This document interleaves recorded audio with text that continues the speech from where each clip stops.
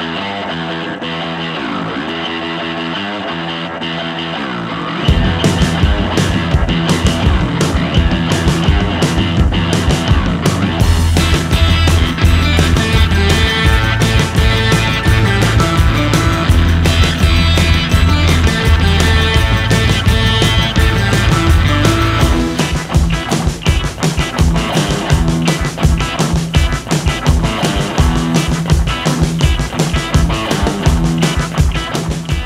segunda edição, com participação de exímios apreciadores e fabricantes de cervejas especiais, além de food trucks e atrações musicais, este evento não poderia ter um nome mais adequado. Vamos conferir o Maioral.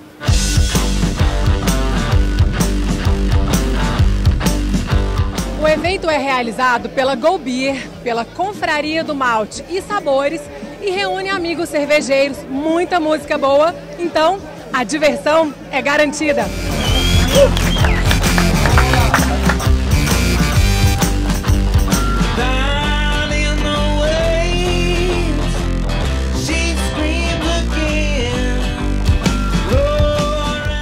Fazendo a segunda edição do evento Maioral 2. O primeiro já foi um sucesso. E estamos querendo divulgar essa cultura cervejeira em Goiânia. Então, assim, o cara que procura um som diferente, procura uma cerveja diferente, quer comer um negócio com, com, com a qualidade, que tem uma personalidade, eu acho que as coisas se conectam, sim, elas têm a ver. Um evento como esse daqui só nos ajuda a propagar que a cerveja especial realmente ela veio para ficar. E a mulherada tá gostando, a mulherada tá fazendo bonito. A gente está fazendo esse tipo de evento agora em Goiânia, em Goiás, exatamente para divulgar cada vez mais a confraria, do, a, a cultura cervejeira. Tem cerveja aqui para todos os paladares.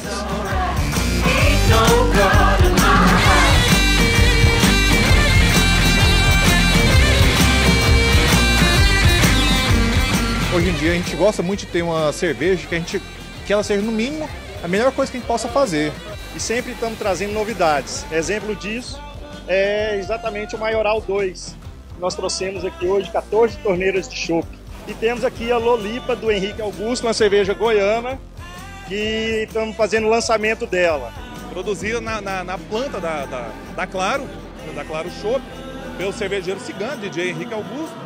Né? Então, tá estreando essa cerveja aí hoje, uma cerveja bacana, fácil de beber. A gente redimensionou essa receita de 50 para 2.500 litros e desde janeiro a gente está produzindo um rótulo que é a Vit Beer, que é a Lula, bem aromática, bem refrescante, bem propícia para o clima goianiense.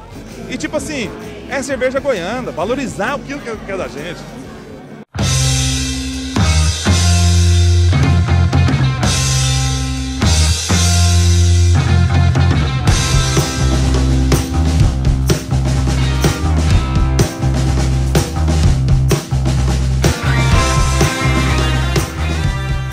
Essa foi a segunda edição do Festival Maioral de Cervejas, o evento mais lupalado da cidade de Goiânia.